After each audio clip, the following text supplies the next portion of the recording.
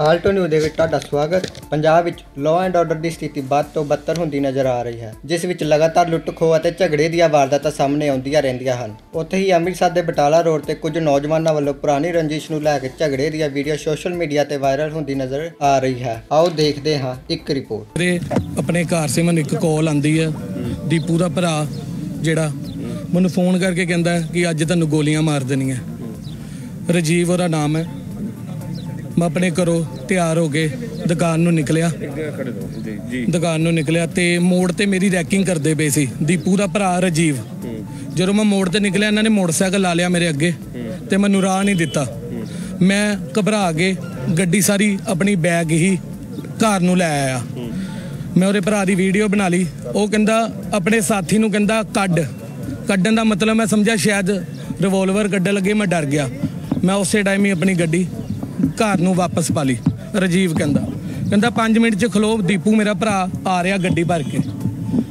15 ਮਿੰਟਾਂ ਤੱਕ ਦੀਪੂ ਮੇਰੇ ਘਰ ਦੇ ਬਾਹਰ ਗੱਡੀ ਲੈ ਕੇ ਬਲੈਕ ਕਲਰ ਦੀ, ਸ਼ੀਸ਼ੇ ਸਾਰੇ ਬਲੈਕ 0094 ਗੱਡੀ ਸੀ, ਸਕੋਰਪੀਓ ਤੇ ਮੇਰੇ ਫੈਮਲੀ ਦੇ, ਮੇਰੇ ਮੰਮਾ ਦੇ, ਮੇਰੇ ਮਦਰ ਦੇ, ਉਧਰ ਮੇਰੀ ਵਾਈਫ ਦੇ ਹੱਥੀ ਪੈ ਗਏ ਤੇ ਮੈਂ ਉਹਨਾਂ ਨੂੰ ਬਚਾਉਂਦਾ ਰਿਹਾ ਤੇ ਗਲੀ ਦੇ ਮੋੜ ਤੇ ਕਹਿ ਕੇ ਗਿਆ, ਤੈਨੂੰ ਗੋਲੀਆਂ ਮਾਰਨੀਆਂ। ਮੇਰਾ ਕੋਈ ਲੈਣ ਦੇਣ ਨਹੀਂ ਸੀ।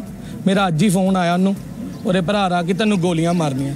ਮੇਰੀ ਰੈਕਿੰਗ 2-4 ਦਿਨ ਤੋਂ ਪਹਿਲੇ ਵੀ ਹੁੰਦੀ ਪਈ ਸੀ। ਮੈਨੂੰ WhatsApp ਕਾਲਿੰਗ ਵੀ ਆਈ ਸੀ ਉਹਦੀ ਡਿਟੇਲ ਵੀ ਹੈਗੀ ਅੱਜ ਆ ਮੇਰੇ ਸਾਹਮਣੇ ਹੀ ਆ ਗਏ। ਪਰ ਉਹ ਕਹਿੰਦੇ ਕਿ ਪੈਸੇ ਦਾ ਲੈਂਦੇ ਸੀ ਤੁਸੀਂ ਚੈੱਕ ਮੇਰੇ ਮੇਰੇ ਮੇਰਾ ਲੈਣ ਦੇਣ ਨਹੀਂ ਸੀ ਮੇਰੇ ਸੱਜਣ ਦਾ ਲੈਣ ਦੇਣ ਸੀ ਮੇਰਾ ਕੋਈ ਨਹੀਂ ਲੈਣ ਦੇਣ ਸੀ। ਤੁਹਾਡੀ ਗਾਰੰਟੀ ਸੀ ਕੋਈ ਇਦਾਂ ਦੀ? ਮੈਨੇ ਨੇ ਬਸ ਮੈਂ ਇਹੀ ਕਿਹਾ ਕਿ ਤੇਰੇ ਮੇਰੀ ਗਾਰੰਟੀ ਸੀ ਬਸ। ਹਾਂ ਮੇਰਾ ਕੋਈ ਲੈਣ ਦੇਣ ਨਹੀਂ ਸੀ। ਪਰ ਰਿਵਾਲਵਰ ਕੱਢਿਆ ਮਾਰ ਰਿਵੋਲਵਰ ਕੱਢਿਆ ਮੈਨੂੰ ਮਾਰਨ ਦੀ ਕੋਸ਼ਿਸ਼ ਕੀਤੀ ਕਹਿੰਦੇ ਗਲੀ ਦੇ ਬਾਹਰ ਕਹਿ ਕੇ ਗਏ ਤੈਨੂੰ ਗੋਲੀਆਂ ਮਾਰ ਦੇਣੀਆਂ। ਦੀਪੂ ਮੈਂ ਇੱਕੋ ਜਾਣੇ ਜਾਣ ਦੀਪੂ ਨੂੰ।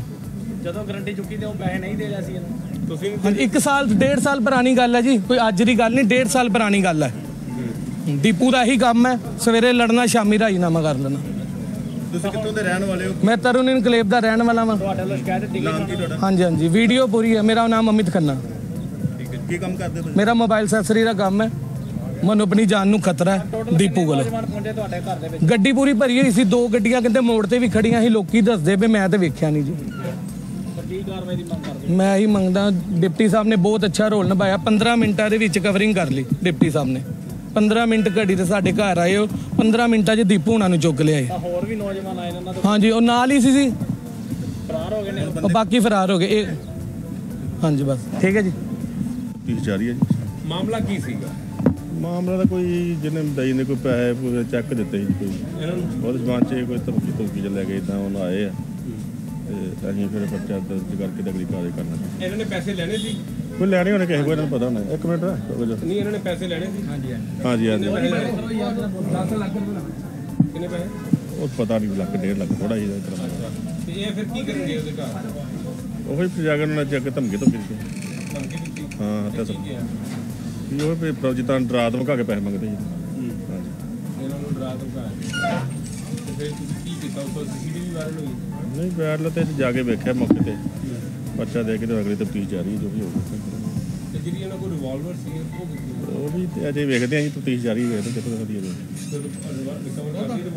ਹਾਂ ਕਰ ਲਈਏ ਬਾਕੀ ਦੇ ਤਫਤੀਸ਼ ਜਾਰੀ। ਸਰ ਕਿੰਨੇ ਨੌਜਵਾਨ ਆਏ ਜੀ ਦੁਕਾਨ ਦੇ ਉੱਪਰ? ਉਹਦੇ ਘਰ ਤੇ ਇਹਨਾਂ ਦੇ ਪੰਜ ਛੇ ਲਿਖਾਏ ਹੋਏ ਸੀ।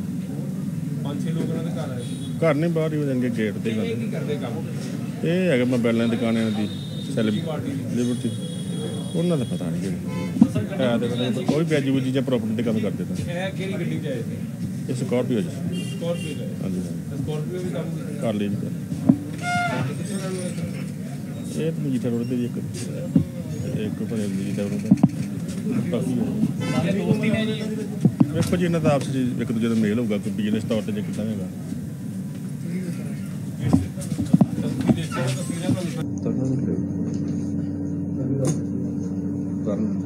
ਭਾਈ ਸਰ ਜਿਹੜਾ ਘਰ ਦੇ ਉੱਪਰ ਆ ਕੇ ਮੁੰਡੇ ਨੇ ਹਮਲਾ ਕੀਤਾ ਤਿੰਨ ਚਾਰ ਜਣਿਆਂ ਨੇ ਨਾਲ ਪਿਸਤੌਲ ਵੀ ਹੈਗਾ ਸੀ ਕਿ ਮੈਟਰ ਕੀ ਦੱਸੋ ਇਹਦੇ ਵਿੱਚ ਜੀ ਤਰਨ ਇਨਕਲੇਵ ਦਾ ਲੜਕਾ ਸੀ ਅਮਿਤ। ਇਹਨਾਂ ਦਾ ਪਹਿਲੋਂ ਕੋ ਪੁਰਾਣਾ ਵੈਸੇ ਪੈਸਿਆਂ ਦਾ ਲੈਣ ਦੇਣ ਵੀ ਚੱਲਦਾ ਸੀ ਬਟ ਅੱਜ ਉਹਦੇ ਅਕੋਰਡਿੰਗ ਉਹਦੀ ਪਹਿਲੋਂ ਦੋ ਤਿੰਨ ਬੰਦਿਆਂ ਨੇ ਰੈਕੀ ਕੀਤੀ, ਉਹਨੂੰ ਰਸਤੇ ਦੇ ਵਿੱਚ ਰੋਕਿਆ। ਉਸ ਤੋਂ ਬਾਅਦ ਉਹਨੂੰ ਸਵੇਰ ਤੋਂ ਫੋਨ ਵੀ ਆਇਆ, ਦੁਪਹਿਰੇ ਇੱਕ ਫੋਨ ਆਇਆ ਕਿ ਅਸੀਂ ਅੱਜ ਤੈਨੂੰ ਵੇਖਣਾ ਵਾ ਜਾਂ ਕੁਝ ਇਦਾਂ ਦਾ ਕਰਕੇ ਧਮਕਾਇਆ ਗਿਆ ਉਹਨੂੰ। ਫਿਰ ਉਹ ਜਿਹੜੇ ਲੜਕੇ ਸੀ, ਉਹ ਆਪਣੀ ਸਕਾਰਪੀਓ ਗੱਡੀ ਦੇ ਵਿੱਚ ਆ ਕੇ ਉਹਦੇ ਘਰ ਅੱਗੇ ਵੀ ਪਹੁੰਚੇ, ਉਹਨਾਂ ਨਾਲ ਮੈਨ ਹੈਂਡਲਿੰਗ ਵੀ ਕੀਤੀ ਤੇ ਧਮਕਾਇਆ ਵੀ ਇਵਨ ਆਪਣੇ ਮਤਲਬ ਵੈਪਨ ਦਾ ਯੂਜ਼ ਤਾਂ ਨਹੀਂ ਉਹਨਾਂ ਨੇ ਕੀਤਾ ਪਰ ਵੈਪਨ ਉਹਨਾਂ ਦੇ ਕੋਲ ਸੀ, ਜਿਵੇਂ ਤਲਖੀ ਦੇ ਵਿੱਚ ਚੱਲ ਵੀ ਸਕਦਾ ਸੀ। ਤੇ ਉਹ ਫਿਰ ਅਸੀਂ ਉਹਦੇ ਵਿੱਚ ਐਫ ਆਈ ਆਰ ਰਜਿਸਟਰ ਕਰਕੇ ਤੇ ਉਹਨਾਂ ਚੋਂ ਦੋ ਬੰਦਿਆਂ ਨੂੰ ਅਜੇ ਫਿਲਹਾਲ ਰਾਉਂਡ ਅਪ ਕਰ ਲਿਆ ਸਰ ਘਰਦਿਆਂ ਨੇ ਕਹਿਣਾ ਜੀ ਇਹ ਗੈਂਗ ਹੈਗੀ ਸਾਨੂੰ ਇੱਕ ਹਫ਼ਤੇ ਤੋਂ ਪਹਿਲਾਂ ਫੋਨ ਦੇ WhatsApp ਕਾਲ ਕਰਕੇ ਧਮਕੀਆਂ ਦੇ ਰਹੇ ਸੀ ਪੈਸੇ ਦੇ ਦੇਣੇ ਤੁਹਾਨੂੰ ਜਾਨੋਂ ਮਾਰ ਦਾਂਗੇ। ਇਹ ਮੈਟਰ ਅੱਜ ਹੀ ਸਾਡੇ ਧਿਆਨ ਦੇ ਵਿੱਚ ਆਇਆ। ਵੈਸੇ ਜੇ ਇਹੋ ਜਿਹੀ ਕੋਈ ਗੱਲ ਸੀ ਤਾਂ ਸਾਡਾ ਉਹਨਾਂ ਨੂੰ ਇਹ ਸੁਝਾਅ ਵੀ ਵੀ ਉਹਨਾਂ ਨੂੰ ਪਹਿਲਾਂ ਹੀ ਸਾਡੇ ਧਿਆਨ 'ਚ ਲਿਆ ਦੇਣਾ ਚਾਹੀਦਾ ਹੈ ਜੇ ਕਿਸੇ ਨੂੰ ਕੋਈ ਵੀ ਥ੍ਰੈਟ ਜਾਂ ਕੋਈ ਧਮਕੀ ਆਉਂਦੀ ਹੈ। ਅੱਜ ਕੱਲ ਹੋਰ ਵੀ ਇਦਾਂ ਦੇ ਇਨਸੀਡੈਂਟ ਕਈ ਜਗ੍ਹਾ ਤੇ ਹੋਏ ਆ। ਤੇ ਪਰ ਪਹਿਲਾਂ ਉਹਨਾਂ ਨੇ ਸਾਡੇ ਨਾਲ ਕੋਈ ਇਹੋ ਜਿਹੀ ਗੱਲ ਸ਼ੇਅਰ ਨਹੀਂ ਕੀਤੀ। ਅੱਜ ਉਹਨਾਂ ਨੇ ਇਹ ਗੱਲ ਸ਼ੇਅਰ ਕੀਤੀ ਅਸੀਂ ਹੋਰ ਪਿੱਛੇ ਉਹਨਾਂ ਦਾ ਜਿਹੜਾ ਬੈਕਵਰਡ ਲਿੰਕ ਆ ਪੂਰੀ ਢੁਕਾਈ ਨਾਲ ਜਾਂਚ ਕਰ ਰਹੇ ਹਾਂ। ਕਿ ਮਤਲਬ ਕੀ ਉਹਨਾਂ ਦਾ ਕਿਸੇ ਇਹੋ ਜਿਹੀ ਚੀਜ਼ ਦੇ ਨਾਲ ਲਿੰਕ ਸੀ ਜਾਂ ਇਹਨਾਂ ਦੀ ਆਪਸ ਦੇ ਵਿੱਚ ਉਹ ਸਰਸਰੀ ਲੜਾਈ ਸੀ ਉਹ ਅਸੀਂ ਤਫਤੀਸ਼ ਵਾਲੀ ਢੁਕਾਈ ਨਾਲ ਕਰ ਸਰ ਜਿਹੜਾ ਪਿਸਟਲ ਇਹਦੇ ਵਿੱਚ ਵਰਤਿਆ ਗਿਆ ਉਹ ਸੰਸੀ ਹੈ ਤੇ ਦੋ? ਨੰਬਰ ਉਹ ਲਾਇਸੈਂਸੀ ਹੈ ਪਿਸਟਲ ਜਿਹੜਾ ਲੜਕਾ ਮੇਨ ਫੜਿਆ ਗਿਆ ਜੀ। ਸਰ ਕਿਹੜੀ ਗੱਡੀ ਵਰਤੀ ਗਈ ਹੈ? ਗੱਡੀ ਜਿਹੜੀ ਉਹ ਵੀ ਲੜਕੇ ਦੇ ਨਾਮ ਤੇ ਹੀ ਹੈ ਸਕਾਰਪੀਓ ਤੇ ਉਹ ਵੀ ਅਸੀਂ ਕੀਤੀ ਹੈ। ਹੁਣ ਤੱਕ ਕੀ ਜਾ ਰਹੀ ਹੁਣ ਅਸੀਂ ਇਹਦੇ ਵਿੱਚ ਐਫ ਆਈ ਆਰ ਦਰਜ ਕਰਤੀ ਹੈ 77 ਨੰਬਰ ਪਰਚਾ ਦਰਜ ਕੀਤਾ ਮੋਕਮਪੁਰੇ ਥਾਣੇ ਦੇ ਵਿੱਚ।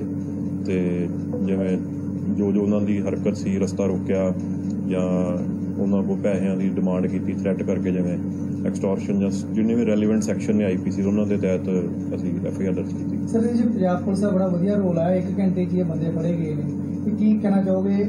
ਫੋਰਸ ਨੂੰ ਥੋੜਾ ਜਿਹਾ ਥਾਣੇ ਹੋਰ ਵਧਾਉਣ ਦਾ ਤੁਸੀਂ ਲਿਖ ਕੇ ਭੇਜੋਗੇ? ਥਾਣੇ 'ਚ ਥੋੜੀ ਵਾਰੀ ਫੋਰਸ ਘੱਟ ਨਜ਼ਰ ਆਉਂਦੀ ਹੈ। ਕਿਉਂ? ਬਾਕੀ ਫੋਰਸ ਨਾਕੇ 'ਚ ਹੁੰਦੀ ਹੈ ਇਲਾਕੇ 'ਚ ਕ੍ਰਾਈਮ ਫਿਰ ਵੀ ਬੜੇ ਹੁੰਦੇ ਨੇ ਏਰੀਆ ਵੱਡੇ ਦੇ ਕਾਰਨ। ਨਹੀਂ ਆਬਵੀਅਸਲੀ ਵੇਖੋ ਜੇ ਸਾਨੂੰ ਮੈਨ ਪਾਵਰ ਹੋਰ ਮਿਲਦੀ ਹੈ ਤਾਂ ਸਾਡਾ ਕੰਮ ਹੋਰ ਇਫੈਕਟਿਵਲੀ ਹੋ ਹੀ ਸਕਦਾ ਇਹਦੇ ਤੇ ਕੋਈ ਡਾਊਟ ਨਹੀਂ ਹੈ। ਅੱਜ ਦਾ ਸਾਡਾ ਕਾਫੀ ਜ਼ਿਆਦਾ ਕੰਮ ਤਾਂ ਵਧੀਆ ਰਿਹਾ ਕਿਉਂਕਿ ਅਸੀਂ ਜਦੋਂ ਵੀ ਕੋਈ ਕਿਸੇ ਨਾਲ ਕੋਈ ਬੱਚੇ ਨਾਲ ਕੋਈ ਔਮਨ ਰਿਲੇਟਡ ਜਾਂ ਕੋਈ ਕ੍ਰਾਈਮ ਉਹਨੂੰ ਬਹੁਤ ਜ਼ਿਆਦਾ ਸੀਰੀਅਸ ਸੰਜੀਦਗੀ ਨਾਲ ਲਿਆ ਜਾਂਦਾ। ਈਵਨ ਅਸੀਂ ਸਾਰੇ ਸੀਨੀਅਰ ਅਫਸਰਾਂ ਦੇ ਧਿਆਨ ਦੇ ਵਿੱਚ ਵੀ ਮੈਟਰ ਆ ਗਿਆ ਸੀ ਨਾਲ ਦੀ ਨਾਲ ਹੀ।